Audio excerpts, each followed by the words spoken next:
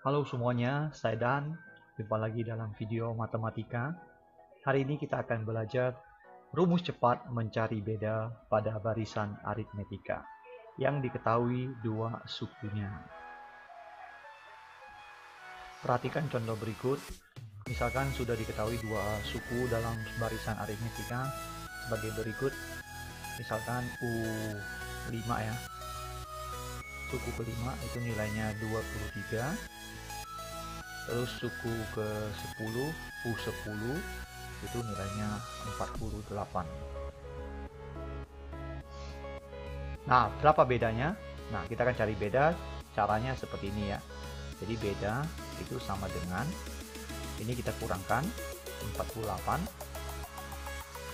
kurang 23 per ini kurangkan.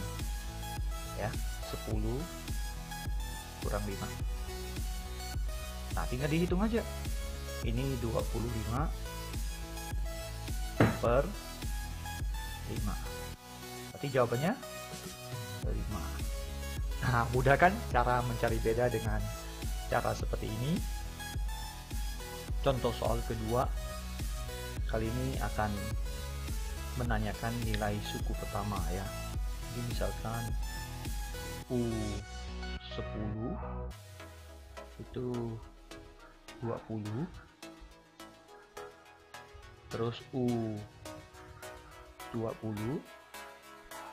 itu 50 nah berapa nilai suku pertamanya? Nah caranya sama kita akan cari bedanya dulu dengan cara yang tadi ya. Kita akan cari bedanya dengan cara yang tadi. Jadi beda. Itu sama dengan ini kurangkan 50 kurang 20 per ini kurangkan 20 kurang 10 ya kita hitung. Ini jadi 30 per 10 berarti nilainya adalah 3 nah lanjutkan kita akan mencari suku pertama. Caranya begini jadi A itu adalah suku ke 10 iya mundur sebanyak 9 kali berarti dikurang 9 kali B ya. 9 kali B. 9 kali B. Nah kita hitung suku ke 10 itu 20 dikurang 9 kali 3 ya.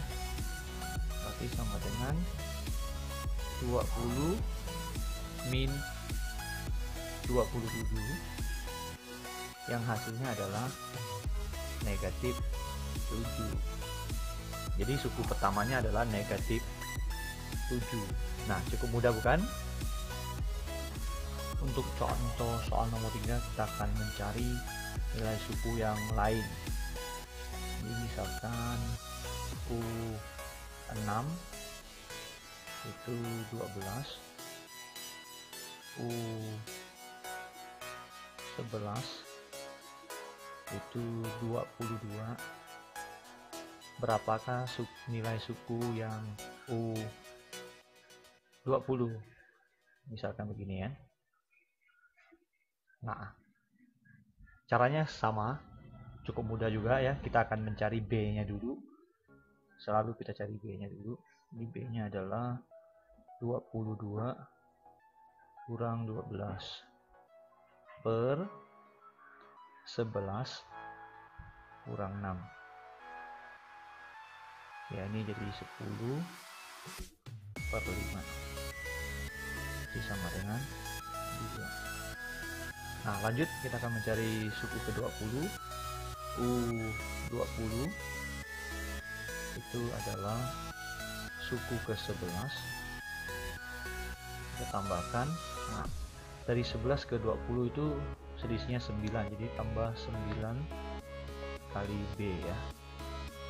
Nah kita hitung. Ini suku 11 nya adalah 22 tambahkan 9 dikali 2 berarti 22 ditambah 18 berarti nilainya adalah 30 40 ya. Nah selesai. Jadi cukup mudah untuk menyelesaikan soal-soal seperti ini dengan trik sebagai berikut. Ya saya rasa cukup tiga contoh soal. Sampai ketemu lagi di video yang lain. Bye bye